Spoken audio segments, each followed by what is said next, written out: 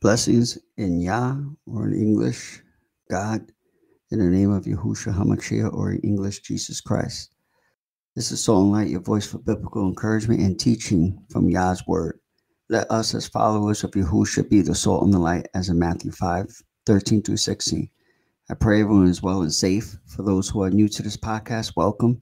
For those who are returning, welcome back. It's great to have you. Salt and Light is available on Gettr, MeWe, YouTube, Facebook, Instagram, and Snapchat. Visit my pages on social media where I have two links posted. One takes you to the website where you can choose how to listen.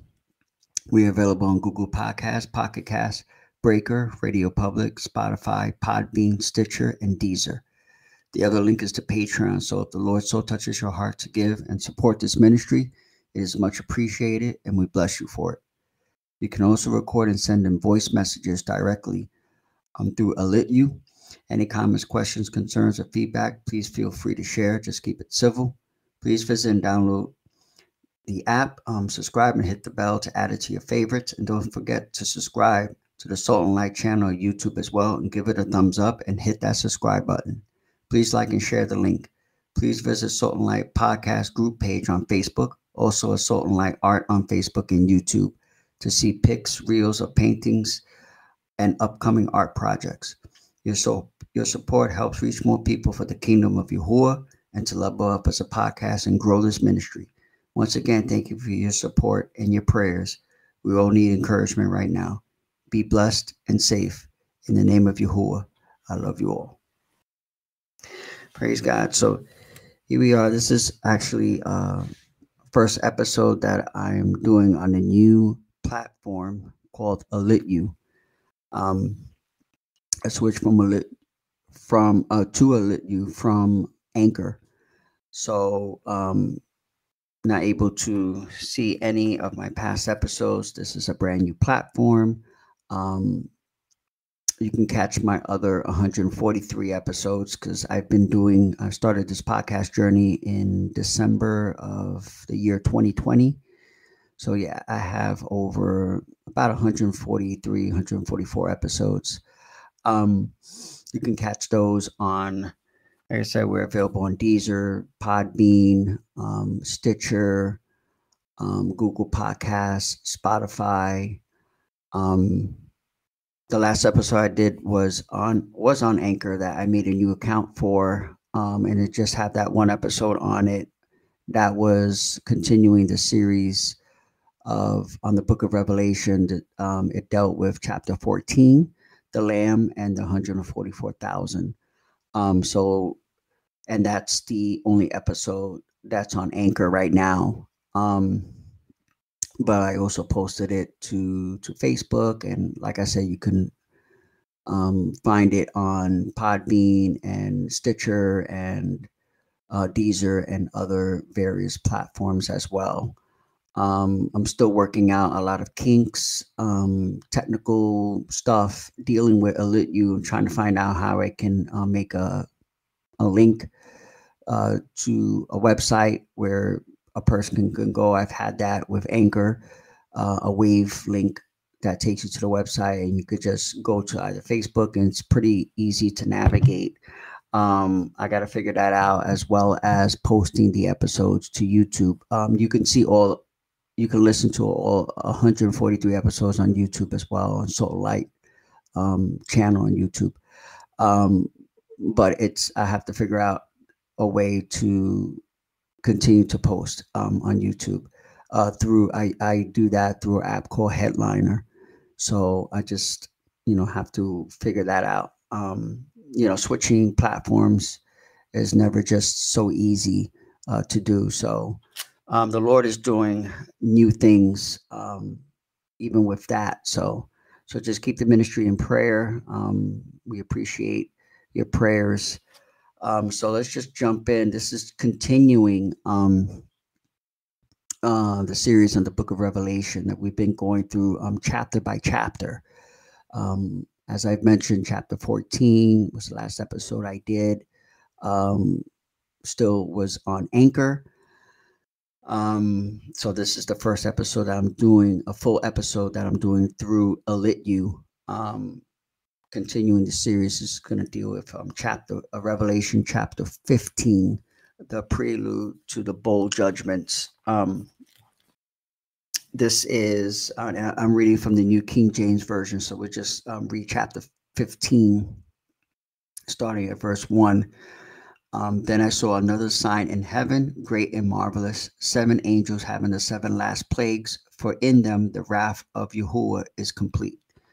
And I saw something like a sea of glass mingled with fire, and those who have the victory over the beast, over his image, and over his mark, and over the number of his name, standing on the sea of glass, having harps of Yahuwah.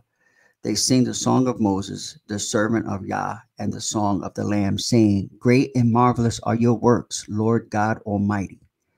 Just and true are your ways, O King of the saints. Who shall not fear you, O Lord, and glorify your name? For you alone are holy. For all nations shall come and worship before you, for your judgments have been manifested. After these things I looked, and behold, the temple of the tabernacle of the testimony in heaven was opened and out of the temple came the seven angels having the seven plagues, clothed in pure bright linen, and having their chests girded with golden bands. Then one of the four living creatures gave to the seven angels seven golden bowls full of the wrath of Yah, who lives forever and ever. The temple was filled with smoke from the glory of Yahuwah and from his power, and no one was able to enter the temple till the seven plagues of the seven angels were completed. Praise Yah.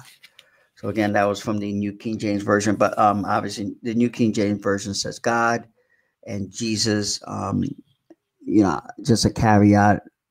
I'm going to put right here. I, I switch over, but I, I lean more towards calling um, God and, and Jesus Christ um, by the Hebrew names, um, not the English names. Um, but I would switch over every now and again, and you and you would hear that. It's just a preference. It's just a conviction I've had. Um, you know, that came from the Holy Spirit. So, so it's just gonna dive a little bit into just that chapter, um, kind of break it down, kind of unpack it a little bit.